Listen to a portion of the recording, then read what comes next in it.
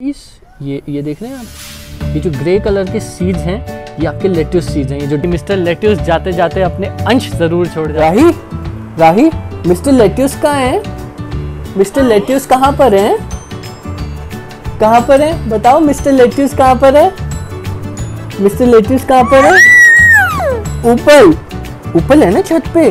तो अभी हम चलेंगे और सबको बताएँगे कि मिस्टर लेट्यूस का ध्यान कैसे रखते हैं। अभी क्या है ना, मिस्टर लेट्यूस थोड़ा सा बुढ़े हो गए हैं तो हम सबको बताएँगे कि बुढ़े होने के टाइम मिस्टर लेट्यूस के साथ क्या किया जाता है, ठीक है? मिलते हैं मिस्टर लेट्यूस के साथ।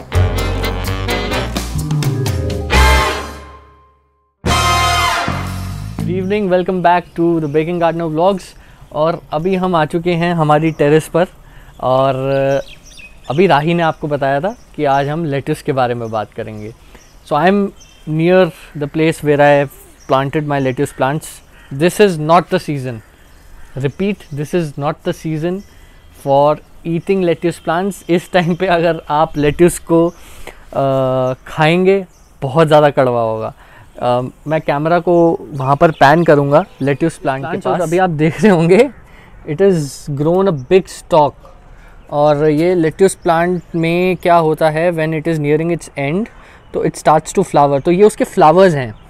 बट uh, यहाँ से हम सीड हार्वेस्ट कर सकते हैं but not at this stage वो स्टेज है हमारी ये वाली. तो इसमें दो स्टेजेस आपको लाइफ साइकिल याद रखनी है जब लेट्यूस प्लांट हमारा जो है बुढ़ापे की तरफ़ पहुँच जाएगा when it is about to die तो उसमें पहले तो ये पीले रंग के फ्लावर्स आएँगे सो दीज येलो फ्लावर्स जब वो फ्लावर मुरझा जाएँगे तो ये जो नीचे इनका बड पोर्शन दिख रहा है आपको है ना? ये ऐसा कॉटन जैसा बन जाएगा बाद में। ये देख रहे हैं आप? ये कॉटन जैसा बन गया है। जब ये बन जाए इसका मतलब we have readily available lettuce seeds for us जो कि अभी मैं आपके सामने आपको निकाल के दिखाऊँगा। तो जैसे मैंने आपको प्रॉमिस किया था, हम लेट्यूस को मरने नहीं देंगे, है ना? तो we are saving it up तो जाते जाते ये अपने जो अंश हैं लेट्यूस मिस्टर लेट्यूस वो छोड़ के जा रहे हैं हमारे लिए, जो कि हम सो करेंगे समवेयर अराउंड नवंबर एंड और कैसे सो करना है, क्या करना है, वो साथ साथ मैं आपको बताते जाता हूँ। तो अभी देखिए आप, इसके सीड्स जो हैं, इसमें से हम निकालेंगे, ये देखिए। छोटे छोटे हैं माइन्यूट से। बट uh, मैं आपको ज़्यादा निकाल के दिखाता हूँ। ये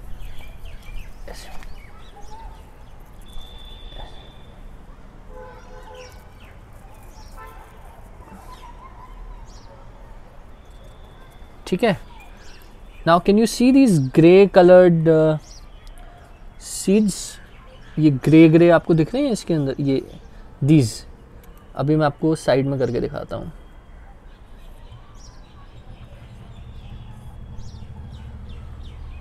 ये हो गए आपके lettuce seeds can you see these ये ये देख रहे हैं आप?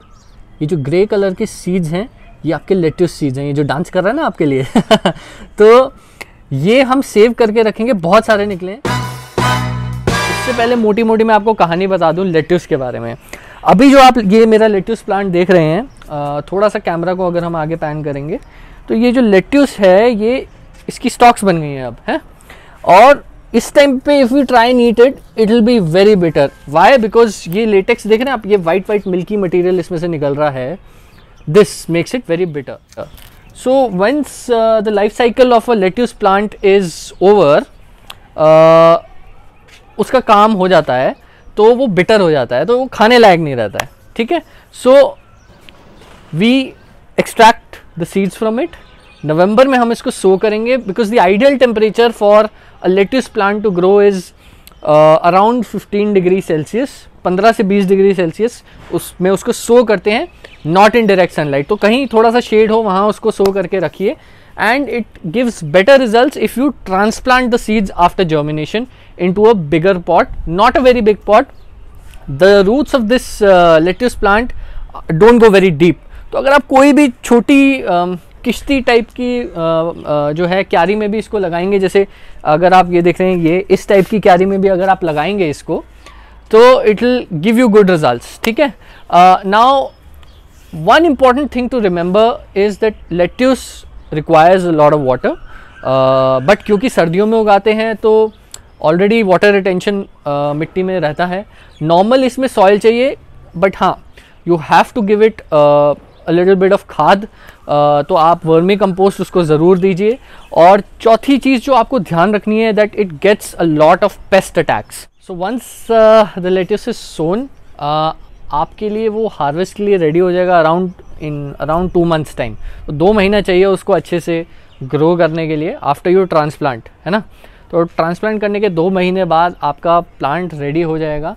But what you have to remember is that when you harvest these leaves और हम सर्दियों में बहुत मज़ेदार इसमें यूज़ करते हैं in Caesar salads in burgers in sandwiches for breakfast तो हमारा तो मतलब मतलब मज़ा ही कुछ और है। फ्रेश लेटेस्ट लीव्स का मज़ा ही कुछ और है। तो 50 टू 60 डेज़ में रेडी हो जाएगा। आफ्टर दैट जो मच्योर आपके लीव्स हैं, उनको आप हार्वेस्ट करिए और उसके बाद आठ दिन तक उस पर्टिकुलर लेटेस्ट प्लांट को आप छोड़ दीजिए। आठ दिन के बाद फिर से वो रेडी हो जाएगा फॉर हार्वेस्ट जो मैंने आपको बोला पेस का बहुत अटैक रहता है इसके ऊपर। मेरे को सबसे ज़्यादा जो प्रॉब्लम आती है वो आती है लीफ माइनर्स की।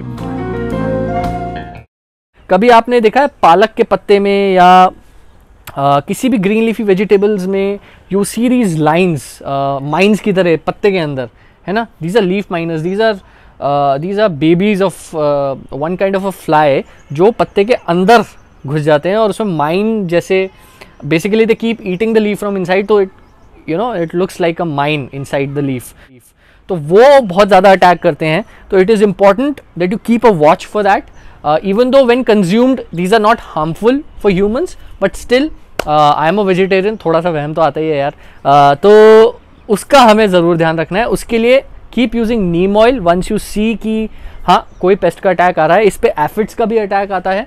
But generally leaf miners do attack mostly our lettuce plants कैसी लगी आपको वीडियो? मैं आपके लिए कुछ आज नया लेके आया था। Hope you enjoyed watching it आज हमने सीखा मिस्टर लेट्यूस के बारे में और क्या कि मिस्टर लेट्यूस जाते जाते अपने अंश ज़रूर छोड़ जाते हैं। तो keep watching for more such videos please do subscribe to my channel और वीडियो को लाइक ज़रूर कीजिएगा। अगर आपको कुछ नया सीखने को मिला। Good evening have a great day